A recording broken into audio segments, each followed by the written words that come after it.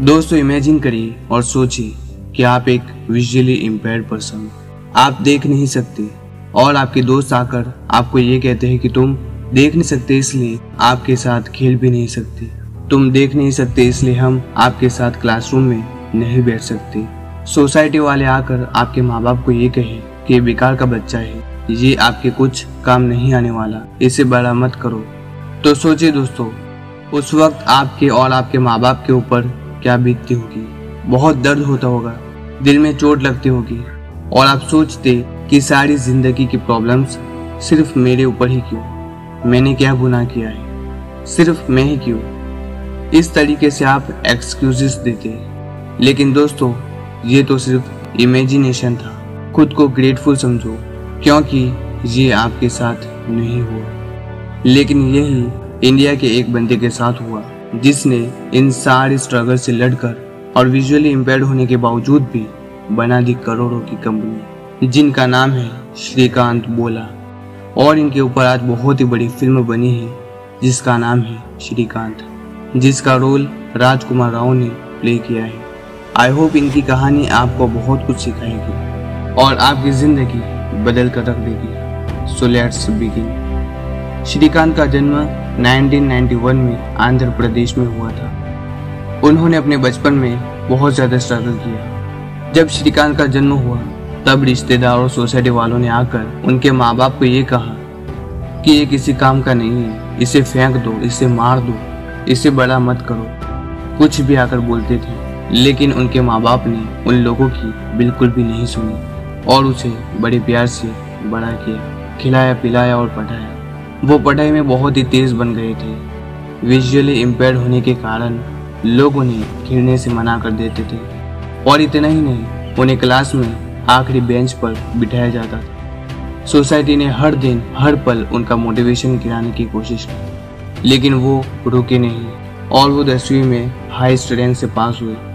Shrikant tenth के बाद science पढ़ना चाहते थे। लेकिन विजुअली इम्पेयर होने के कारण उन्हें साइंस में एडमिशन नहीं मिल पा रहा था। कहते थे कि इसमें चार्ट वगैरह देख के पढ़ना होता है, तुम नहीं कर पाओगे। लेकिन उन्होंने हार नहीं मानी। उन्होंने अपनी आवाज़ उठाई और कोर्ट में केस किया और उनकी जिद के कारण उन्हें साइंस में एडमिशन लेना पड़ा। उन्होंने ट्वेल्थ में बहुत ही अच्छे नंबर प्राप्त किए। उसके बाद उन्होंने अमेरिका में एमआईटी में एडमिशन लिया। एमआईटी वो कॉलेज है जिनका नाम दुनिया के टॉप थ्री कॉलेजेस में आता है। अमेरिका के एम से ग्रेजुएशन की पढ़ाई पूरी करने के बाद लाखों का पैकेज छोड़कर श्रीकांत वापस भारत आ गए। और साल 2012 में उन्होंने बोलैंड इंडस्ट्रीज़ की शुरुआत की। राज शमानी के पॉडकास्ट में उन्हें ये पूछा गया कि क्यों आप इतनी बड़ी कॉलेज छोड़कर भारत आ गए? क्या आपको वहाँ पर जॉब नहीं मिल रही थी? तो उन्होंने बड़े प्यार से कहा कि ऐसा बिल्कुल भी नहीं है। वहाँ पर जॉब तो हमेशा मिलती ही है।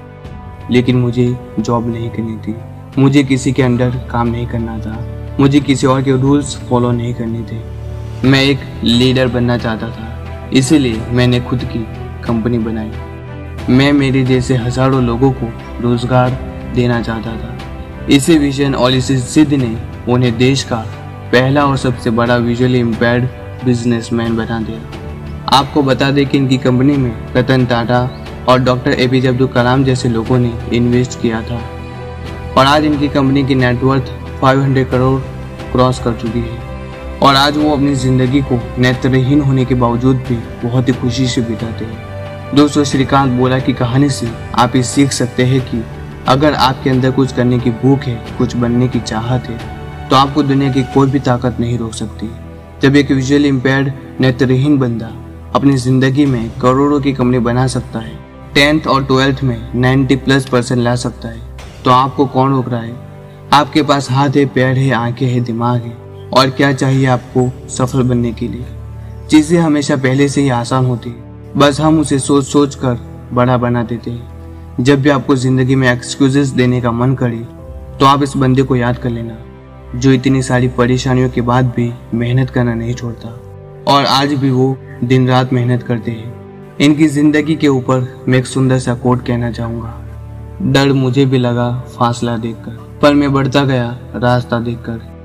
खुद ब खुद मेरे नज़दीक आती गई मेरी मंजिल, मेरा हौसला देखकर। आई होप ये वीडियो आपकी ज़िंदगी में कुछ बदलाव लाएगा। मिलते हैं किसी शानदार मोटिवेशनल वीडियो में। Till then goodbye